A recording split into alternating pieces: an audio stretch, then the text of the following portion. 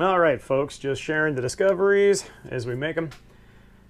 So, and I will point you towards, uh, if you go to my, my uh, basically my personal website, uh, speedbumpmedia.com, um, I've actually started a, a, blog.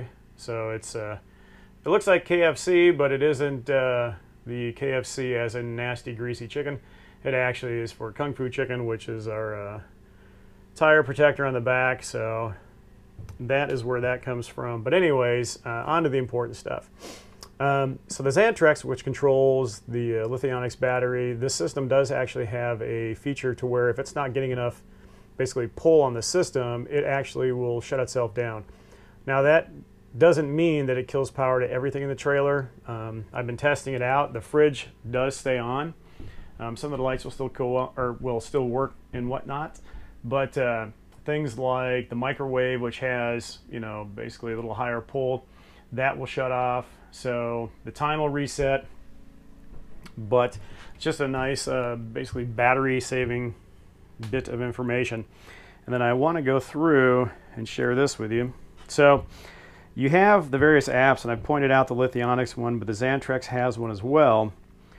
And what I'll point out, so let me get back into this. So there's a couple things. So with the Lithionics battery, what I've discovered is that, well, one, their website, and again, you can find the link on that blog, has some great information um, of working with the system. So you can actually have basically your battery showing like a 70% charge, but then if you go in here, you could actually have a fault where basically your, your battery is really getting low and you may have to go into the emergency uh, the reserve.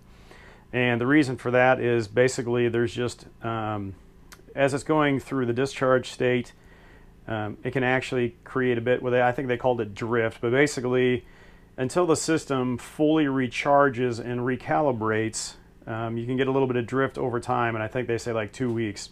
So that's what that is coming from. So then also, just so you see, so the system actually comes where you can do firmware updates right on the app, which is really nice and handy. Um, and then let me go back into the Xantrex, this is what I found. It's pretty basic, but the nice thing is, let me get this to where I don't have crazy reflections. So the nice thing is, is this shows you basically what's going on with the Xantrex system.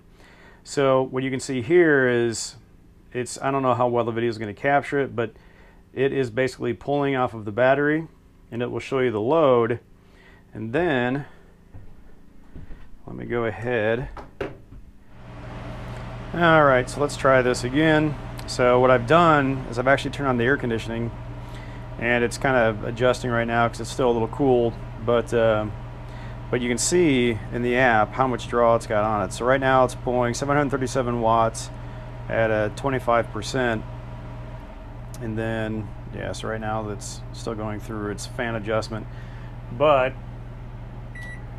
so like, let's see what happens if I put the microwave on on top of it.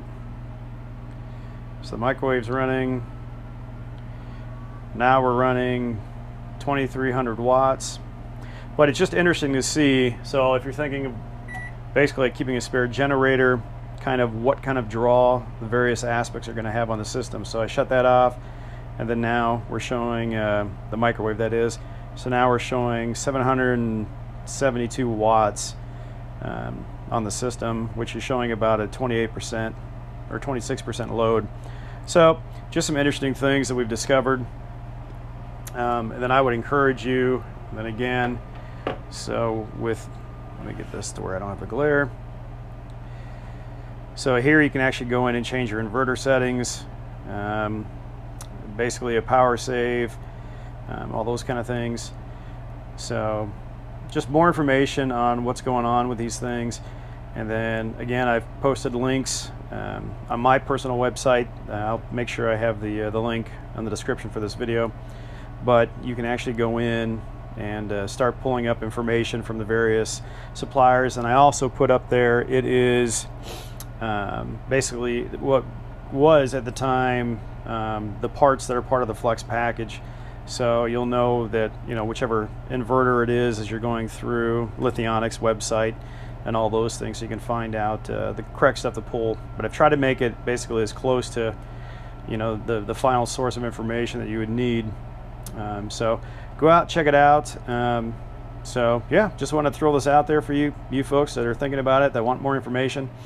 Um, like I said, Winnebago started to post some stuff, but uh, again, I'm just a really technical person, so I like finding out as much information as I can.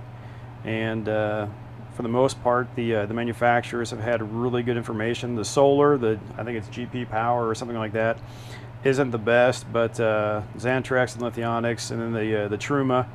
Uh, I've got links to all their stuff for the uh, the water heater um, and all that stuff, the air conditioning and the hot air and all that stuff. So go out there, have a look, and uh, hope to see you on the road. If you see Kung Fu Chicken going down the road, uh, make sure to give us a wave.